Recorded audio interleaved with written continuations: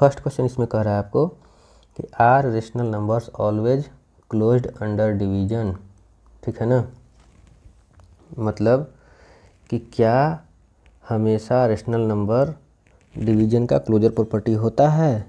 तो देखिए, सबसे पहले क्लोजर प्रॉपर्टी हम लोग समझेंगे कि क्या है। आपको हम पहले ही ये सब चीज़ बता चुके हैं।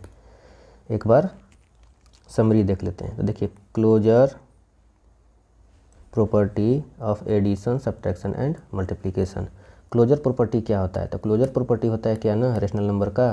कि जब दो रेशनल नंबर को हम अगर एडिशन का क्लोजर है तो जोड़ेंगे सब्ट्रैक्शन का है तो घटाएँगे और मल्टीप्लिकेशन का है तो डिवाइड करेंगे तो हमेशा रेशनल नंबर ही आना चाहिए। Sum of two rational number subtraction of two rational number and multiplication of two rational number is always a rational number ठीक है? क्लोजर प्रॉपर्टी मेन यही होता है। कि जब दो रेशनल नंबर को हम जोड़ें, घटाएँ मल्टीप्लाई करें डिवाइड करें तो उतना आना चाहिए, ठीक है? तो अब देखते हैं कि कौन कौन क्लोजर को फॉलो करता है। तो हम सबसे पहला बार में ले लिए एडिशन को। दो रेशनल नंबर लिए ऐड कर दिए। ये जो आया ये भी रेशनल नंबर मिला, ठीक है? फिर से हमने दो रेशनल नंबर लिया। इस बार दूसरा रेशनल नंबर हमने ज़ीरो ले लिया। ऐड किया, जो आया वो भी रेशनल नंबर है। तो ये तो एडिशन जो है क्लोजर प्रॉपर्टी को फॉलो करता है। ठीक है? फिर आते हैं सब्ट्रैक्शन में।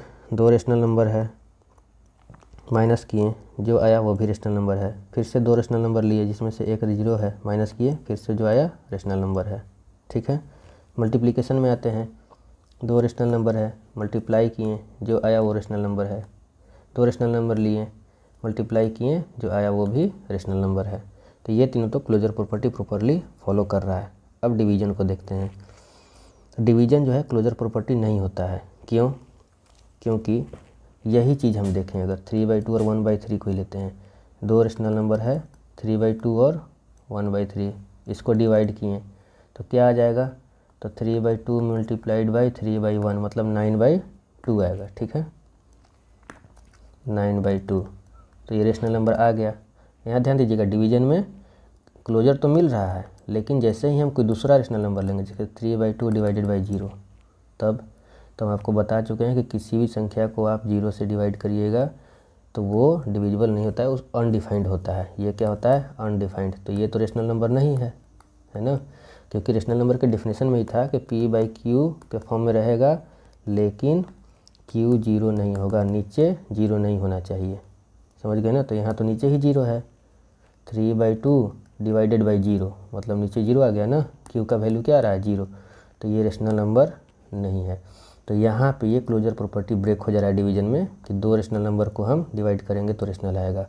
रेशनल आ रहा है, आप कहिएगा इसमें तो आ रहा है। यहाँ देखिए, यहाँ डिवाइड करें तो आ रहा है। आ रहा है, लेकिन जब हम ज़ीरो से डिवाइड कर रहे हैं तो रेशनल नहीं आ रहा है, वो रेशनल नंबर नहीं होता है। तो हम क्या कहेंगे कि हमेशा, यहाँ पे देखिए ऑलवेज लिखा है कि ऑलवेज रेशनल होगा डिवीज़न में नहीं, हमेशा नहीं होता है। लेकिन अगर पूछा जाए कि क्या एडिशन, सब्ट्रैक्शन और मल्टीप्लिकेशन का क्लोजर ऑलवेज होता है रेशनल नंबर के लिए तो हाँ लेकिन डिवीज़न में ऑलवेज नहीं होता है। समझ गए?